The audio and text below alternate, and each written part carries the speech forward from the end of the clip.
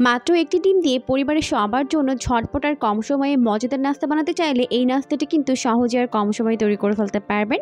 খেতে কিন্তু দারুণ মজার হয়, একবার তৈরি করে দেখবেন। পরিবারের সবাই এটাকে অনেক বেশি পছন্দ করবে। তাহলে চলুন দর্শক দেখে নেওয়া যাক এই রেসিপির পুরো প্রস্তুত প্রণালী। নাস্তা তৈরি করার জন্য প্রথমে একটি বোলের মধ্যে একটা ডিম ভেঙে নিব। খুবই সামান্য পরিমাণে দিয়ে দিব লবণ।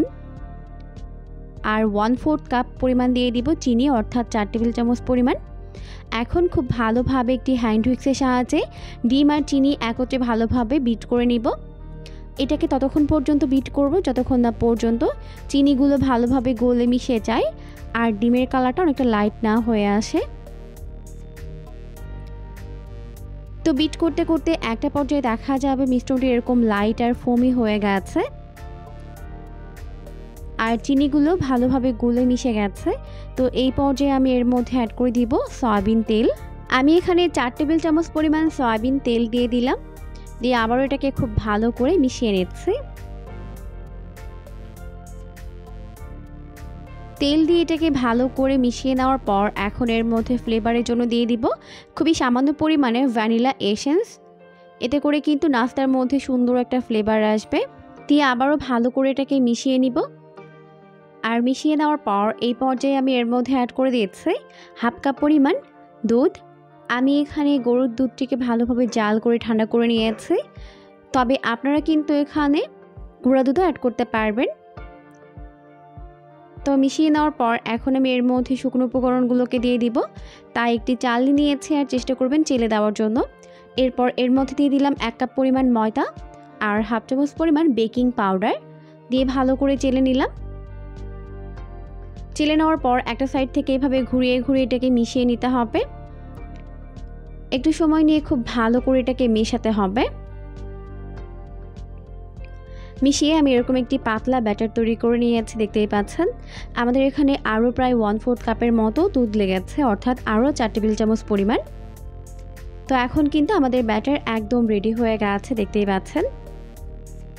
এখন আমি চলে যাব নাস্তাগুলোকে বানিয়ে নেওয়ার জন্য। তো নাস্তাগুলোকে বানানোর জন্য প্রথমে চুলা একটি প্যান বসিয়ে দিয়েছি। প্যানটিকে ভালোভাবে গরম করে এখন অল্প একটু সয়াবিন তেল দিয়ে প্যানটিকে ভালো করে মুছে নিলাম। এখন আমি এর মধ্যে এক চামচ পরিমাণ ব্যাটার দিয়ে দিব।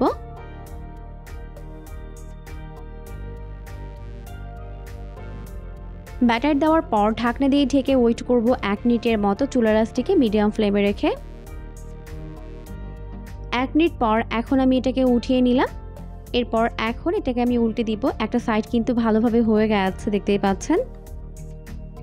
এখন অপর সাইডটাকে আমি প্রায় 30 সেকেন্ডের মতো সেকে নিব। তো এই পর্যায়ে আমাদের একটি নাস্তা কিন্তু হয়ে গেছে, এখন এটাকে আমি উঠিয়ে নিব। আর প্রতিবার নাস্তা তৈরির সময় এভাবে প্যানটিকে তেল দিয়ে মুছে নিতে হবে। এরপর আমি এর মধ্যে আবারও ব্যাটার দিয়ে দিব। তো এখন আমি আপনাদেরকে আরও একটি তৈরি করে দেখাচ্ছি। আবারও আমি এটাকে ঢেকে দিব। আর সবগুলো নাস্তা কিন্তু অবশ্যই চুলার আঁচটিকে সেম রেখেই বানানোর চেষ্টা করবেন। তাহলে কিন্তু একদম পারফেক্ট হবে না হলে কিন্তু পুড়ে যেতে পারে। দেখতেই পাচ্ছেন কত সুন্দর একটা কালার চলে এসেছে। এখন এটাকেও আমি উঠিয়ে নিব। তো এভাবেই আমি সবগুলো নাস্তা বানিয়ে নিব। তো এখন আমাদের সবগুলো নাস্তা তৈরি করে উঠিয়ে নেওয়া হয়ে গেছে, দেখতেই পাচ্ছেন। লুকটা কত বেশি আমি হয়েছে। খেতেও কিন্তু হয়েছে দারুণ মজার। অবশ্যই রেসিপিটিকে ফলো করে বাসায় ট্রাই করবেন। দেখবেন পরিবারের সবাই অনেক বেশি পছন্দ করবে। এরকমই সমস্ত আরও নতুন রেসিপি প্রতিদিন পেতে চ্যানেলটিকে অবশ্যই সাবস্ক্রাইব করে রাখবেন। পরবর্তী ভিডিও দেখার আমন্ত্রণ জানিয়ে বিদায় নিচ্ছি। সবাই অনেক বেশি ভালো থাকবেন। আল্লাহ হাফিজ।